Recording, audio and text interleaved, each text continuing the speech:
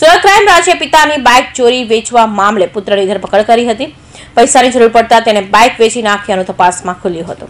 Crime branch પાસેથી મળતી માહિતી પ્રમાણે પેટ્રોલિંગ દરમિયાન બાતમીના આધારે અડાજણમાંથી ચોરાયેલી બાઇક સાથે રામદેર ખાતે રહેતા યુવાનને ઝડપી પાડ્યો હતો અને પૂછપરછ કરતા તેણે અડાજણ ખાતે રહેતા પરીન પટેલ પાસેથી ચાલીસ હજારમાં ખરીદી હોવાનું ખુલ્યું હતું.